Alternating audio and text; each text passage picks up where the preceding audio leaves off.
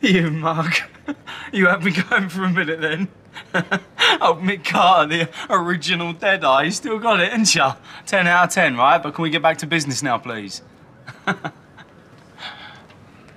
Charmley Army, forever, mate. I got your back.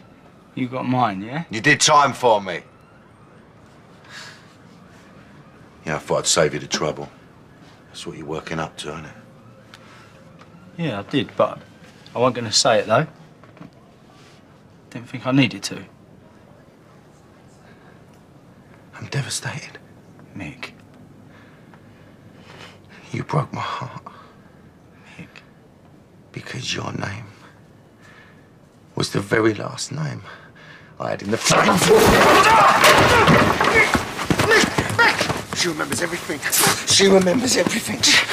Even down to the fact that he was wearing that shirt because Dobson broke his ankle. Why would she know that? Why would she know that? She must have seen me in the match! She wasn't there because I bailed her after. Loads of us were wearing our shirts, there were loads of There us. was only one shirt, one shirt she saw by the motor. One shirt she remembers, one number. One shirt with a number nine on it.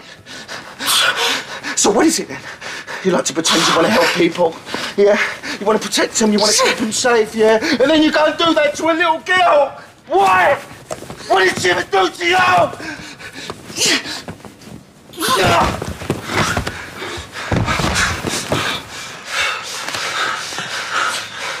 Tell me why. What's the point of me saying anything? You're not going to believe me anyway.